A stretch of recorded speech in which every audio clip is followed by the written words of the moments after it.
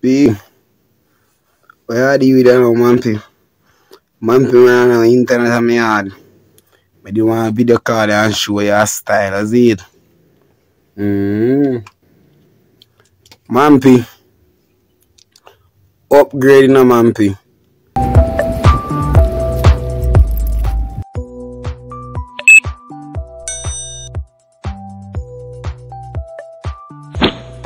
Back to your regular. That one a name. Seat Mampy. Your seat Mampy. Mampy. Me no want do it Mampy. God no. Your seat Mampy. Seat there. Your seat Mampy. Mampy. See it? Me tell you in a Mampy. Last night I seen eating dark. E Lord. See Mampy, Mampy then then there. Me know see it. Me know for sure see it, Mampy. You see me? Me know for sure say you see them say then then there. You see them, Mampy? Look, Mampy, you see say then then there, Mampy. I told no much about it last night, Mampy. Oh God, Mampy, you sing sweet. More you hear you see, Mama. I want you hear it. It bad You I'm chop one out of it, you know. Hmm? Mampy, idea. Me da want chop one right now, but me can't chop one for you right now, Mampy. Sorry. You see it? Full effect, Mampy. I tell me, I tell you. Last night, problem.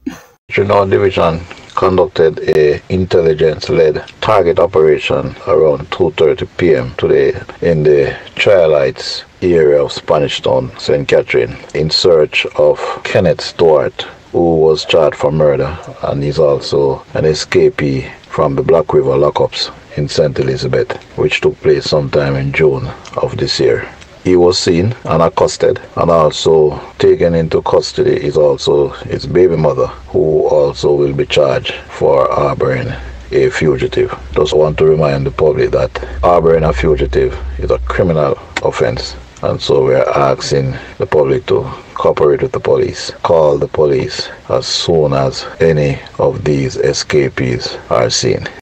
I wish to use this medium to appeal to our citizens not only in the parish of St. Elizabeth, but right across Jamaica, to share any information that you may have on the remaining escapees. On the 19th of June, eight persons broke out of the Black River lockup. Two of them are now back in state custody, and the others remain at large. You may share your information with 119, Crime Stop at 311, or the nearest police station.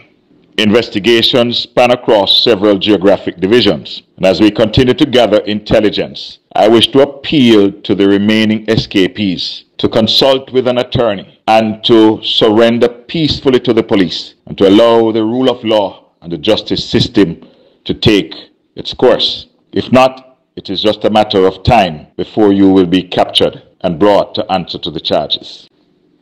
One of eight prisoners who escaped from the Black River Police Station lockup in St. Elizabeth on June 19 of this year was captured by the police at a bar in Buena Vista near Myersville in the parish on Saturday afternoon.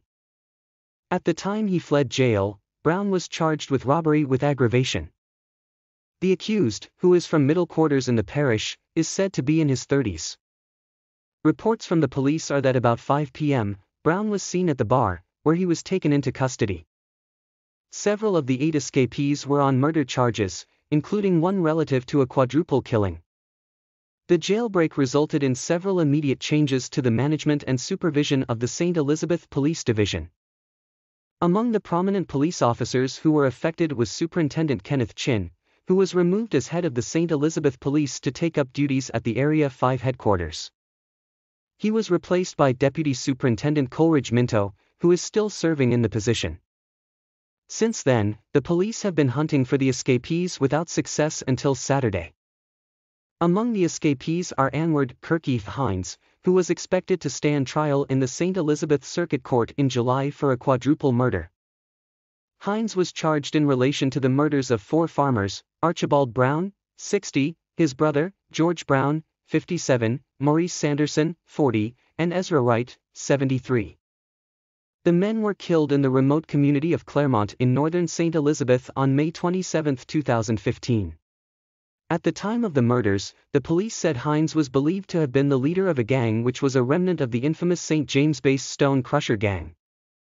Hines was apprehended in July 2015 when he was found hiding in the ceiling of a house in Hatfield, Manchester. There have been reports that since escaping custody he has been spotted in St. James on several occasions, but he remains at large.